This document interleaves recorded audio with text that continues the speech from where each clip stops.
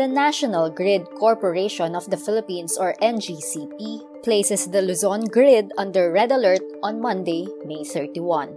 This is the first time it has done so since June 2019. A red alert means there is insufficient power supply in the grid.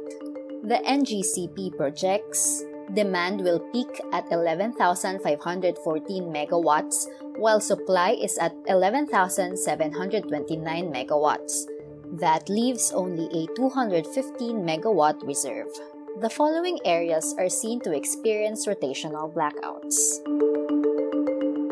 Officials say there should be a 400 megawatt reserve to prevent rotational blackouts.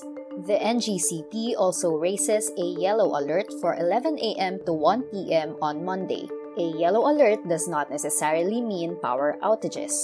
Energy Assistant Secretary Redentor Delola said there is a possibility that yellow and red alerts will last for the next couple of days because of the lost capacity. The NGCP says it will defer to the Energy Department for generation details. The Energy Department earlier said it was not expecting power outages for the dry season, as long as there will be no additional plant shutdowns.